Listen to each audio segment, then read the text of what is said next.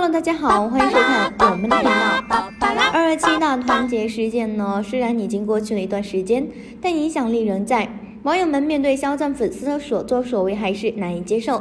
同时，因为肖战本人至今未能对此呢做出正面回应，也未能通过任何途径尝试呢引导粉圈生态，所以网友们的怒气也牵连了肖战本人。二七大团结事件最初呢，因肖战粉丝不满偶像被写进同人文而起，所以举报了该文章发布的网站，这才导致 L 三被抢。在被各个圈子的路人们声讨后，肖战粉丝正式呢道致歉了。但在不久前，似乎又有一个小众圈子被肖战粉丝逼到关闭账号。社交账号呢，名为亚非文学报的账号呢，在不久前发布了最后一条动态，大意为账号之后不会再更新。对于此前的不当言论感到抱歉，现已和评论区呢提出质疑的肖战粉丝达成和解。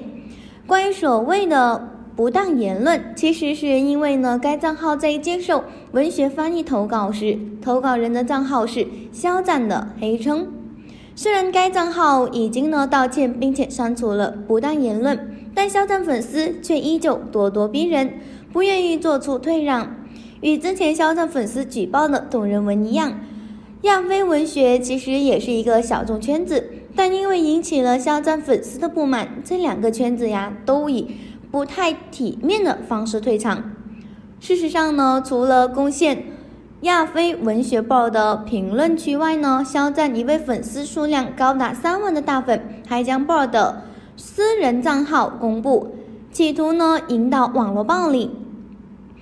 该名大粉在被骂之后，迅速宣布自己已经脱粉肖战，自己的行为与肖战无关。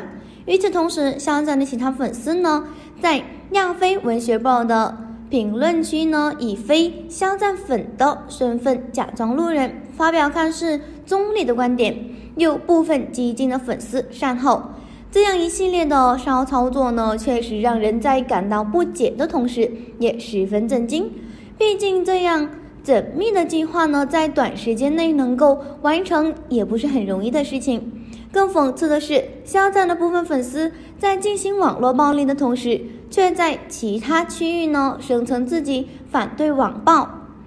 这似乎也能从侧面看出，肖战粉丝的生态呢，在没有受到正确引导的情况下，确实有越来越恶劣的发展趋势了。同时，肖战粉圈呢内部呢，对于如何举报一个平台在利用路人的同理心呢为自己洗白这件事。